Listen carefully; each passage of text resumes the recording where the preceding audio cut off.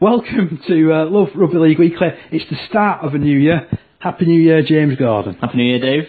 Good to be back. And First Friday of the new year. you can tell it's a new year because I've got a new little black book as well with all my notes in. So, uh, what we're going to talk about? Have you not got the list of what we're going to talk about? I was going to chuck that over to you Oh, first no. of all, mate. Well, just sort of about half an hour ago, the news has come through that Nigel Wood has stepped down as RFL chief executive. So um, I think everyone's been expecting it for, for a while. It's obviously been mooted. So um, yeah, that that news has broke. He's been there for he well, he's been in that role for ten years. He's been with the RFL for sixteen years, and obviously now there'll be a new you know a new era if you like, and, and somebody else at the top of the pile. We could have a new world order, couldn't we? Yeah, so uh, you know, it's it's Nigel was expected to take on the top job at the International Federation from May, which is being vacated by David Collier. So, um, so yeah, it'd be interesting to see what happens. Whether the RFL, obviously they've they've said they're looking for a new chief executive, whether they bring someone in from outside or whether maybe Ralph Rimmer steps up for it. Um, that'd be an did the interesting one. obvious choice because I mean he's he, knows the, the inner workings of the RFL, doesn't he? Yeah, you know, and obviously Nigel Wood was there when Richard Lewis was there and he took over. I mean, you know, in my opinion, I feel like the RFL needs a little bit of a fresh, almost like a fresh approach, a fresh impetus. So that's maybe where if you get someone from outside coming in, but you never know what what might happen really. Um, Overall, do you think he's done a good job? um, it's di- I mean it's difficult, isn't it? I don't think the game's pro- progressed a, a great deal. I mean, the, the people will always there'll always be instant there'll always be positives and negatives, won't there? And, and people will always be able to point, you know, positive things. And I mean, we got the press release and there was only maybe three or four positives highlighted, and one of them was bringing Catalan and Toronto in, um, the 2013 World Cup. Um, you know, for me, I just feel like there's been a few, there's a lot of little things floating around at the moment that are in, you know that are impacting the game. You know, all the, the ongoing talk about restru- You know, since Nigel Wood's taken over, we we scrapped relegate promotion relegation, went to franchising, extended Super League, then we reduced Super League, scrapped franchising, got the Super 8 in, and we're still not happy with it. Um, so, you know, the, the, the, there's that side of it as well. It's also under his watch as well that we've seen uh, dual registrations creeping, and uh, that's a, a great vein on rugby league as far as I'm concerned. Yeah, and obviously you've had all sorts of, you know, all sorts of, of other little things going on, and you know, like I say, it's not not, not all his fault necessarily, but I think it's probably the right time, and it'd be interesting to see now. It, it's an, it's a funny time because obviously we've been told that there's going to be this. We're told that there's going to be changes, aren't we? Or we have been told that they're looking at the system, but you know, it would be a funny time to be looking at that now before. You know, surely there'll be no changes before somebody else comes in with their their own ideas. You'd think. And it makes you wonder as well with rugby league and how they, they look at these things, whether they'll give somebody a blank canvas or whether there'll be something like a, a plan already in place. I mean, rugby league and plan, plans have hardly been easy bedfellows down the years, have they? Yeah, I mean, well, and that's the. I mean, the thing is, is the bottom line is, is that you know, I mean, I've wrote it, I've wrote about it plenty of times where you know the game has probably not progressed as it should have. You know, you look even like the TV deal and stuff like that, and you know the lack of championship on telly, and you need someone who at the top who's going to put the neck on the line and say, right, you know, say to someone like Sky, well, you either show the championship or you let someone else have it. You know, and To be fair, just to, to be devil's advocate there, we had 12 years where the championship wasn't closed from, well, wasn't shown on TV from when we switched to a summer sport.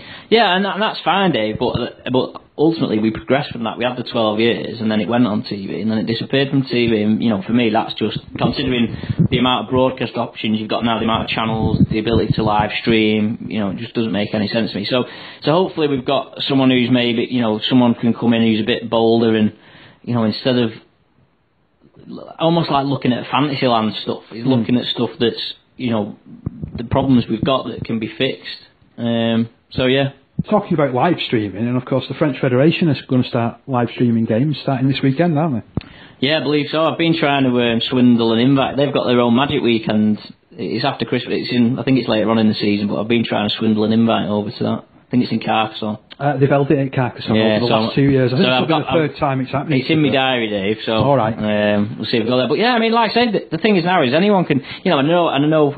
Um, we had a column on the week about it this week. I know Featherstone, for instance, record all their games and show them in full afterwards, and they, I know they've been quite keen to show some of theirs live if possible. Um, especially, I think the Toulouse one, and we've have been told not to. And it's like at the moment, it's like clubs or other partners are wanting to stream games, but they can't because Sky have got the rights. But then Sky aren't showing any of the games, so So they're not using them. So Yeah, in so essence, it should be a case of use it or lose it. Uh, yeah, it? and that's what I mean. I think I think I think whoever takes over's got to be a bit more forceful, and you know, and obviously there's a massive problem with Sky because obviously the game's so reliant on it. But you know, I still think that ultimately, if Sky are paying that much money, it's obviously worth something to them. We've been- accused already of sitting on the fence. No, and that's that's not that doesn't sound like me, does it? Really? No, no, no. Maybe I'm I'm I mellowing in my old age? I think it's New Year's resolution. Maybe, maybe. But So- yeah, so a bit of breaking news to go into the into our weekly show. Um, the other thing that I wanted to, to mainly focus on is obviously we're gearing up to another Super League season. We will have uh, extra looks at the Championship, Championship One in, in future weeks.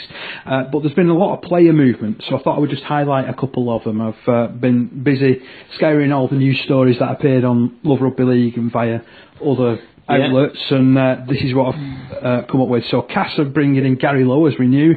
Joe Wardle made his debut um, over the festive period. Jamie Ellis via uh, Hull Kingston Rovers from Huddersfield. James Green from Leeds, James Clare from Leeds, Cory Aston from Leeds, and Mitch Clark from Hull Kingston Rovers. Just looking at those, who do you think's going to sort of stand out? Well, first of all, you said to me we weren't going to go through them all. I'm worried now. We're going to be here all day. No, no, no, Um, it's- I mean, Joe, Joe, Joe. Wardle's an interesting one because I think they're looking. I don't know whether they're looking at maybe trying him in the back row even. Um, Had he gone sort of playing a little bit there? yeah, anyway, that's right. 'cause the there's- he's NRL? been- yeah, and obviously he played there for Scotland I think a few times. Um, it'd be interesting how he goes. Obviously, there's the big fuss over Hardaker, and I think Ben Roberts is going to go to fullback, which means obviously Ellis or a another is going to end up playing at half back. Potentially a Um, chance for young Trueman as well. Yeah, and you know, I think I think they showed Cass last year. I mean, there was that game where Trueman did he score four tries or he scored that think actually it was on his debut at Wigan. Wigan, Wigan. yeah. They showed that the way they play, they can just slot squad players in and still, you know, still do it. So you know, I'm over at I think Cassie's media day is Tuesday, so no doubt catch up with a few of the players there. And so I think Cory Aston's another interesting one as well to see whether he can. You know, he went to Leeds and you thought, oh, that was an interesting one. He's obviously moved on from there. Whether he can get some game time. Obviously, Powell, bit of a connection with Daryl Powell through Mark Aston, I guess. So, Yeah. um, be interesting to see that. So, yeah, we we were talking. I mean, we were talking about Garry Lo. Like, is he going to play? You know, how many tries is he going to score? He's an interesting one as well. But I think whoever you put in that Castle team, the way they play will.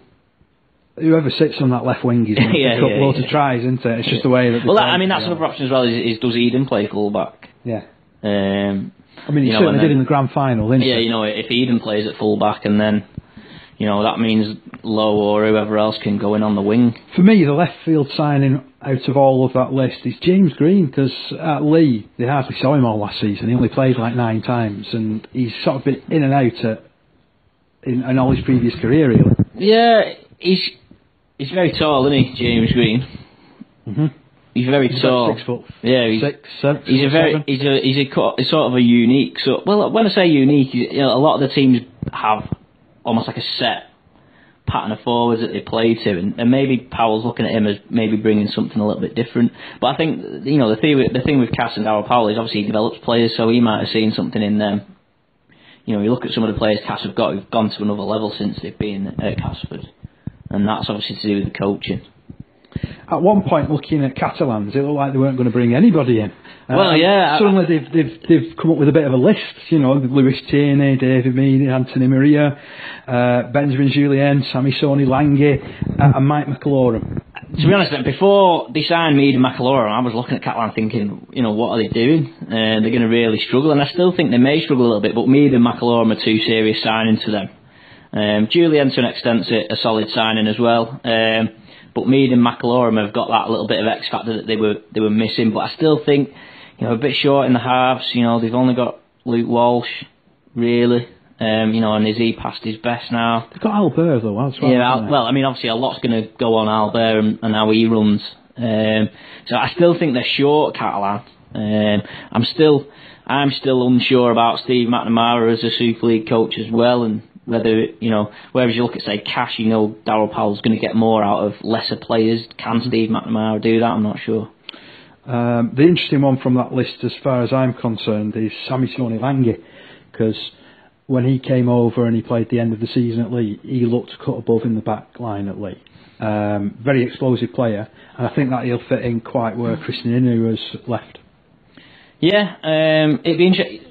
I mean, obviously, it's interesting when you look at who play. It is interesting looking at who teams sign because you look at players and think, oh, but you know, if it fits in, everyone's got a different system, and so yeah. Uh, Huddersfield, they've hardly changed a yeah, thing. it won't take long this one. Yeah, they've only signed Adam Walne from Salford and Colton Roche from Bradford. And the interesting one for me, if I go on Colton Roche, he's had previous chances in the professional game. He's grabbed a chance at Bradford last season with both hands, been outstanding for them, and landed a Super League gig. He always had that potential. Yeah, I mean, it's an interesting one for us because they were really poor like first half last season, and obviously got their act together, got in the Super Eights, did okay in the Super Eights. Um, I, I worry a little bit for them. You know, they showed at the start of last season that they can be weak. Jake Mamo's obviously a, a key player for them. You know, Danny Brough's getting to you know Danny Brough getting older and older. How long can he carry them for? So yeah, Huddersfield are one to. You know, for me, I, I just can't see Huddersfield getting in the top eight again. He's nearly picking his pension book up, isn't he, Danny Brough, these days? Yeah, and you know, and, and there's still, you know, all the hopes are sort of pinned on him still. Mm-hmm. Um, and I just, I just, I, I look at Huddersfield, I worry a little bit, um, especially like I say, because they showed at the start of last season how bad they, they were Mm. pretty poor. You know, they were pretty dog the first half. And I mean, I mean, at at the same time, you can say they were they were very good second half, but they'll be an interesting one. But for me, I, I can't see Huddersfield finishing top top eight. Adam though, I think that's an interesting sign as well, because he was uh, kind of in and out at Salford as well. It's interesting that he's gone there because obviously you thought with the way you know obviously Salford have had the money pulled and you know they're probably looking at you know bringing through more young players. It's interesting that he's decided to go elsewhere. Okay, Hull, again, this one won't take very long. They've only signed uh, three players for the new season. There's Bureta Faraimo, who's coming in, who uh, played for uh, the USA, didn't he? Yeah, he's just a light for light, Well, as much as you can get a light for light for Fonua, obviously. He was outstanding Yeah, two that, years, and that, that's the thing with Hull. The two signings Hull have made are basically replacements for two key players they've lost, aren't they? Yeah. Mickey Paea being the other one. Yeah, they brought brought him back, and I thought he was pretty solid for him last time. Yeah, I thought they might actually have had, a- have had a go for Sam Moa, but because I, I, I, I I can't, I don't know. I mean, a, a few teams haven't announced squads. I don't know if Sam Moa was still at Catalan. I, I heard he was going, um, okay. and I thought another team might have picked him up, but obviously not. They've also brought in uh, Hakim Miloudi as well from uh, from France. He's been pla- playing for Doncaster. hasn't Yeah, he? yeah, he did really well at the back end of last season. So I'm looking forward to seeing if he gets a few games at Super League level and to, Yeah, Hull- to show his words. I mean, Hull are pretty solid, aren't they? Pretty settled. It'd be interesting. I, I guess Hull are probably one of those teams now that they're quite happy with the team they've got. It's it's what's going to make the difference for them is if any of their youngsters can step up and go to the next level. I think. At Hull Kingston Rovers, obviously there's the headline signing of Danny McGuire. Yeah. Can you look beyond Danny McGuire, or that that? that I mean, we, we were talking, act, yeah. We still, I mean, I, I still feels like Hull KR have got a couple of signings up the sleeves, and I think they've still got the quota spots, haven't they? Um, because if you look at what they've, you know, the recruitment, they've not recruited massively, have they? I To be fair, like- they have 36 players on the books at the end of well, yeah. I mean, though. but I mean, obviously McGuire, like you say, they've got the headline in Tommy Lee. Um, Tommy Lee's an interesting interesting one. If he's been around, he's got experience. And ultimately, he's not played a lot of rugby over the last three years. I was looking in, in the, the various stats books that are, are out at this stage, and I think he played nine times for St Helens last season. Mm. He only played, what, ten times the season before at Salford, and 13 times the season before. Yeah, you know, he joins that list of players who've played for both Hull and OKR as well. But um, yeah, I, st- I still, I'm still a little bit worried about OKR. I think, but but like because you know they're obviously looking for signings. They've obviously they're obviously trying to get someone over the line. So it'd be interesting to see, you know, a bit like Catalan really. If they make one or two signings, it might completely transform your expectations of them. And I noticed the other Walne brother from Salford has ended It's up going interesting they've not stayed together, Dave. An Yeah, one, it is. it? It is. Yeah. Um, they've also uh, sort of gone for a little bit of youth as well, signing Connor Williams, Will Dagger, of course, who came through at Warrington last yeah. season, had, had two or three really good games. Yeah, and it'd be interesting to see how players like Chris Atkin does, you know, with the Super League chance and see whether he can step up to playing Super League week in, week out. I know certainly Bobby Goulding is championing him. Yeah, I mean, you know, he's, you know, we- we've seen him quite a few times at Swinton and, um, you know, he, he came through the, the Widnes Academy and he was just a player that was probably not ready for the first team and obviously because there's no reserves, he was, he was cut, you know, as soon as he hit 19 basically. Um, you know, he's one of them players that he's obviously got something. And this is where I mean, like I did that video last week, where I basically put what my thoughts were on uh, what I would change in rugby league in 2018, and one of those was actually concerning bringing proper reserves in. Yeah. And I'd scrap the 19s because I think that you could easily move players Well, I just, up. I just honest. sort of think, why don't they just let let them have like overage players in the 19, you know, play like three or four overage players in the 19s, and Ah. just call it the reserves if you, You like. just call it the Yeah. reserves anyway. So you do away with that. The bulk of teams that want to go down the youth route will continue to do Yeah, yeah. that. Um, but you know, you, you're opening it up as well for the later developers. Yeah, because I mean, you know, ultimately you want to try and get the players in younger as you, you know, the younger play. You know, you want as much as there's players like Jamie Peacock who come through later on. At the moment, it's like you're almost pressuring them to be ready for the first team at 19, and if not, they're just going to disappear. Whereas if you Exactly. if you if you make it reserves, they at least think, oh, well, that's it. If they're not ready till I'm 21, 22. Yeah, and there's there's several players that got the chance in Super League 21, 22. You, you look back and Stuart Donlan, for example, ended up carving out a bit of a, a good career at Super League is level. that, I mean, it's just the whole thing, isn't it? You don't know when someone's ready. I mean, it was interesting. It was at the Warrington Media Day, so I talked to De- De- Patton. Obviously, Warrington have run with reserves. I mean, they don't play many games.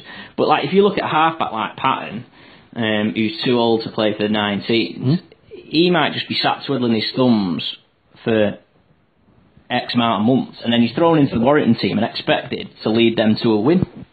And it, you know, it's difficult. So Uh, thanks to Michael Morton, he's uh, agreeing with my 18 Oh, idea. wow. I like a bit you of slipped him agreement. a fiver. I see. I must have done. I must have done. Although, uh, It- no, I mean, I think- a I comment think- from Pete saying that I've gone a bit early, Murray. So apologies about that. I will Yeah. get back to normal next week. Yeah, he, he asked he asked Father Christmas for a shaver and it didn't come. No, it didn't. Um, so I'm, yeah. I'm hoping for a few close shaves in Super League. oh, year. very good. Uh, Fantastic.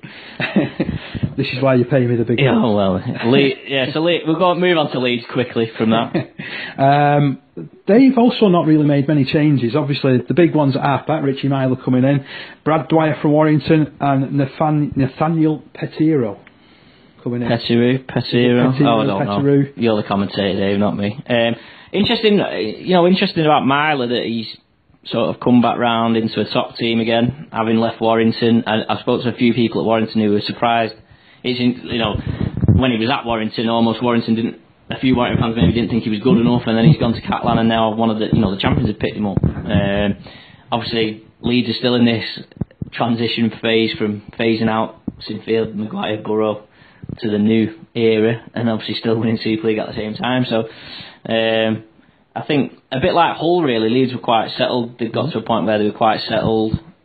You know, they've brought Myler in, and I think they'll go okay. You already name checked Salford earlier on, and uh, their recruitment has been interesting. They've brought Ben Nakubuwai from Gold Coast, who played for Fiji in the World Cup.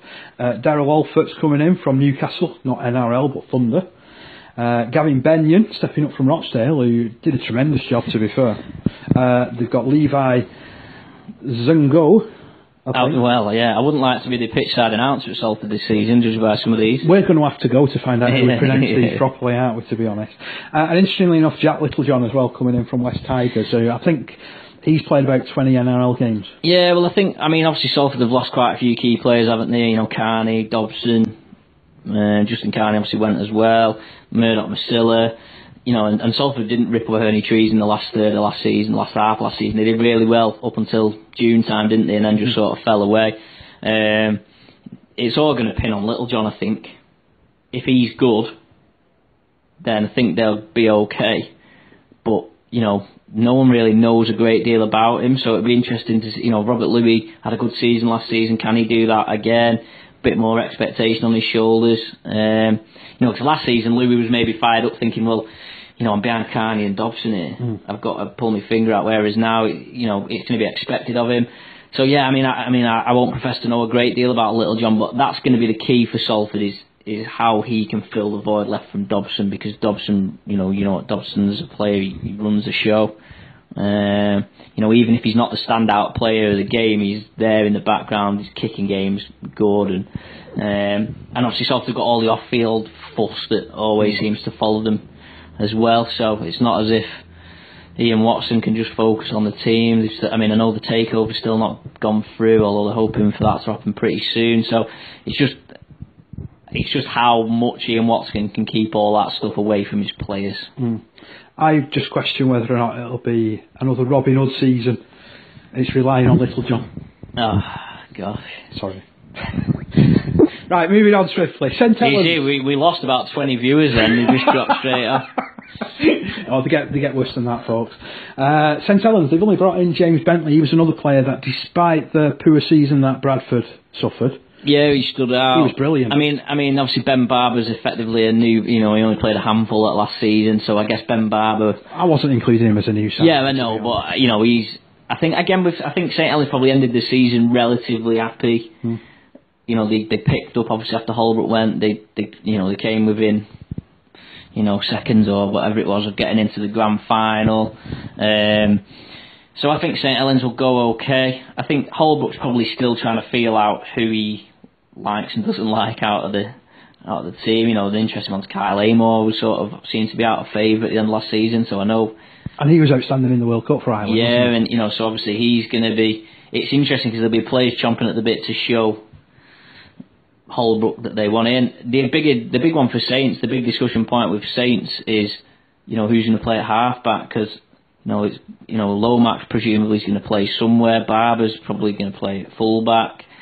You know, what about Smith, Richardson, Fages? You know, they've got. Mm. I There's four or five players he- there for I two think- slots, isn't there? I think for me, he's got to decide who his two are and stick with it. I think I that I'm a firm believer. I think if he's, he's going to say right, we're going to do Lomax at six, Smith at seven, have Fages on the bench, Richardson's going to be the backup. Do it like that. You know, that would be me, my. But it's whether he feels like Lomax can do the job at six because you know Lomax was playing at, at centre for a bit last season when they were trying to sort of shoe him, shoe on him in the team. Um, so be interesting, but I, I fancy Saints to win it. I'm glad I've got some support from Andrew as well. So it keeps the jokes in. It's pantomime season. yeah. Um, and interestingly as well, I noticed a, a comment from Derek as well saying about the uh, some of About recruitment clubs championship, yeah. Well, yeah, I mean, obviously Leigh and Toronto have both recruited. Pretty, it's a bit like dog eat dog, isn't it, with them two, because they're trying to sort of outdo each other. But every Uh, time a player gets released from Leigh, he seems to end up at Toronto. Yeah, but then obviously Leigh have sort of got they're their going to own. run out of they're going to run out of players. Leigh have sooner or sort of got their own back by signing Craig Hall, which is a good a good pickup. Hmm. Been some interesting games between them this season. Okay, back in Super League, Wakefield, they've brought in four players. There's Justin Horo, Jordan Baldwinson, Ryan Hampshire, and this man so good they named him twice, Pauli Pauli. Interesting, yeah. Wakefield again. I think they're quite. They're obviously quite happy. They've added some, you know, fairly solid signings, them, aren't they? Um, the key for Wakefield's keeping players fit. You know, if they can keep Miller and Finn fit, then they'll be okay. Um, obviously, they've got Tyler Randell as well, who came in at the very back end of last season. I know He's got injured, He's got a bit of an injury, yes, so he'll miss the start of the season. But again, he's another addition, if you like, to if you were comparing Wakefield to 12 months ago. It kind of perked him up as well, didn't he, when he Yeah, got in the team? the big thing for Wakefield is how important was John Kay. But having said that, you know they've been top eight last two seasons, and he was only there for last season. So Okay. Uh, Warrington, it's like uh, cast list of Ben-Hur, the signings they've made. So they've brought in Akauola from Penrith Panthers, Mitch Brown, Bryson Goodwin, Tyrone Roberts, Ben Murdoch Masila, and the out list is just horrendous. yeah, I mean it was the Warwick Media Day yesterday, which I was at. Spoke to a few of the players. Spoke to Steve Price, and um, obviously Warrington desperate to bounce back from last season.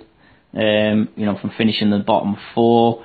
Um, it's definitely a, a new era for Warrington. Really, being I mean, a lots are expected of Roberts. I mean, he's a very confident lad, and he did very well in the NRL last season, and he could absolutely light it up um, in Super League. So, it'd be interesting to see how how he goes. Um, I worry a little bit for Warrington's depth. Um, I still don't think their youngsters are of good enough a, a good enough quality in comparison to say your Wigan and your St Helens and your Leeds.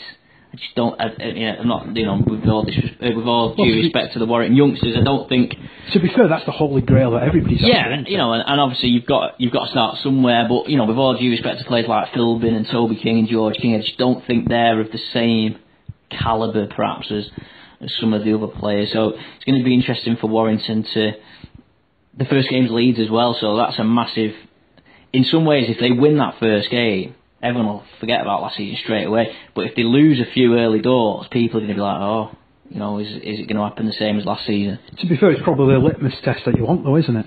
Yeah, and you know, it's they've only just literally they've only just got the players back now, so they've been training. I think they started training yesterday with all the England players, and obviously Murdoch still has had a few visa issues, so he isn't here yet. So, you know, when you're missing you're missing four or five of your key players, aren't you? Because they've been at the World Cup. It's and under a new coach, there's a lot to learn, I suppose. You mentioned this media day. Tell us a little bit about it. It was at Peckforton Castle, so It looked posh. Yeah, I mean, I was moaning a bit on Twitter before I went yesterday because obviously our office is about a stone's throw from the Halliwell Jones Stadium. You're a better aim than I am, then. Yeah, yeah. And us- usually I can just saunter over and, you know, it's whereas I had to drive 30 miles there. Anyway, um, so the players did a load of activity and there's actually the guy who owns Peckforton Castle is actually a former rugby league player, Dave. Is he? Chris Naylor. He came through the St Helens Academy, played for Salford, played for Oldham. Right, okay. He had a cruciate ligament injury, I think, that made him retire early. But him and his family now own Peckforton Castle and Nunsmere Hall, which are, are quite big wedding venues if you're if you're up these ways. You on Um, commission? I'm not, no. Um, I did interview him for another client of mine yesterday, but um, but yeah, so the players were abseiling, they did a Land Rover experience, they were doing all sorts, and in typical media day fashion, they were about an hour and a half late for us press types, but um, Did they have you sort of running the gauntlet and stuff? no, no, they didn't do it. I did when I was coming in. Ben Westwood was sort of stuck halfway down. He was abseiling from the top of the castle and was a bit stuck halfway down. I'm not sure. I think Sky were filming that, so they might have got it.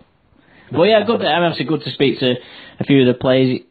You can sort of tell that Warrington are a little bit unsure of, you know, they're all a bit unsure of themselves at the moment because, you know, they've got the new era. They're all sort of, I think, you know, with all due respect to Tony Smith, I think they're all glad hmm. to be going into something different. But then at the same time, I still all think they're all still a little bit unsure about how it's all going to pan out. There's that old saying, isn't there? A change is as good as a rest. To be fair.